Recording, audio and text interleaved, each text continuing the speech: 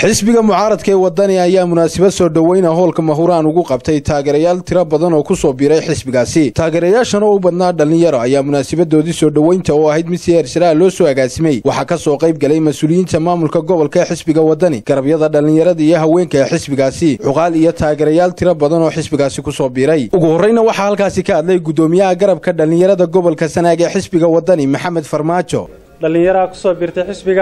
ku soo waxay ka kooban yihiin sagaashan iyo ciyaartooyga aragtaan hortiina fadhiya. Aad iyo aad baan ugu soo dhoweynaynaa xisbiga wadani waxaanu leenahay ku soo dhowaada gacmo furan qalbi furan. Waxaa iyaguna halkaasi ka hadlay qaar ka mid a dhallinyaradii tirada badnayd ee xisbigaasi ku soo biirtay. Dhallinyaradan ma aha oo keliya. Dhallinta halkan fadhida waa dhallin mug weyn oo dhammaan ku nool gobolkan sanaag. Muddo badan markaan rogrognay dhallinyaradan halkan soo fadhida waxay go'aansadeen in ay si mug leh oo isku maskaxa oo hal idea ka timi ay ugu biiraan xusbiga waddani. Xisbiga waddani waxaynu kaloo aynu odhan karnaa waxyaabo badan oo ay dawladdeennu maanta dawladda xilka haysaa ay ka gaabisay ayuu qabtay baa laga yaabaaba xalay oo ugu dambaysay waxqabadkii ugu weynaa dee waa wada arkaysan oo indhihiina ma garanaysaa idin macallin ahaa maanta yaani keliya naga noqon media seen uga dhex muuqanaa oon idhaahnaa xisbiga waddani baynu ku soo biirnay laakiin keliya taanu ahaano dad maanta hadafkaa lixda bilood soo socday in lix bilood oo kalena sii socdo halkaana aan kaga tegin. Shacabkiisa walbahaarka iyo wareerku la qabsoo dabeed maraya. Wawshuu wado maanta dawladdan ka warhay oo ololay wadataa wadee waafiya weeye ilaahow ku wanaaji madax buu u qalmaaye. Sidoo kalena waxaa halkaasi hadalka isaga kala dembeeyey islamarkaasina dhallinyaradan ku soo dhoweeyey xisbiga waddani xubno ka tirsan mas'uuliyiinta xisbigaasi. Dhammaan degmooyinka bariga sanaag iyo weliba degmada ceerigaabo annaga iyo taageerayaashaydu inaannu ka mid noqonno xusbiga waddani waxaan leeyahay nin kasta oo xusbiga soo galay hadda soo galay mid horraan soo galayba halkiisa midkiiba toban qof ha ka soo wacigeliyo ha keeno xisbiga kaambeygiisa ha la adkeeyo. Xisbiga waddani inuu eegan u yahay abaaraha dhacay inuu u baadidoon tago dadka mucaawino u doono wuxuu isagu kari karana siiyo.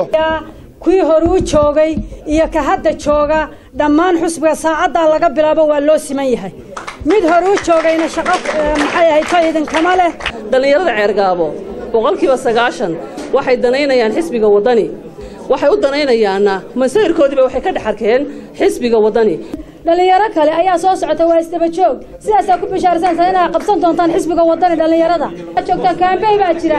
Inaguna kaambeygeenu waynoo hoosanaya kaambeyga abaaraha ayaanu ka qayb qaadanaynaa habsati waa ogtihiin iyo abaaraha jira. Maanta qaarna waxay hoggaankii xisbiga wuxuu u baxay siduu u badbaadin lahaa dadkeenna. Xisbigeennu wuxuu yaqaanaa sida beesha caalamka loola hadlo isla markiiba jawaab deg dega ayaa la siiyey. Waddani taageeradiisu jamhuuriyadda somalilan gobollada oo dhan iyo gaar ahaan gobolka sanaag inaynu gacanta ku hayno waxaan markhaanti iiga ah dhallinyarada mugga iyo miisaan soo dhowaada soo dhowaada baa u leenaha dhallinyarada gobolka sanaag macadkii martiday noqotayoo cadkii reer kale ka yimi martidana aan soo gaadhin dhallinyaro waa idin soo dhowaynaynaa soo dhowaada boqolkiiba boqol. Waxaannu idinla garab taagnaanaynaa hiil iyo hooba. Gebagabadiina waxaa halkaasi ka hadlay guddoomiyaha xisbiga waddani ee gobolka sanaag maxamed jaamac xasan daadey soo biirayaasha ku soo biiray xisbiga waddani ee dhallinyarada quruxda badana waxaannu idinku soo dhowaynaynaa waxaannu idinku soo dhowaynaynaa qalbi furan iyo xusbi furan iyo xusbi xusbigii dhallinyarada ee waddani. Cercergaaban waxaan leeyahay guushu gacantiinnay ku jirtaa. Maamulka ayaa ugu wacan gobolka oo aan wax badan oo juhdiya gelin dhallinyarada gobolka sanaag. Wasiir wasiirrada ka mid ah wuxuu yidhi haddii aanu cabdiraxmaan ahayn ra'iisal baarlamaan waannu xidhi lahayn.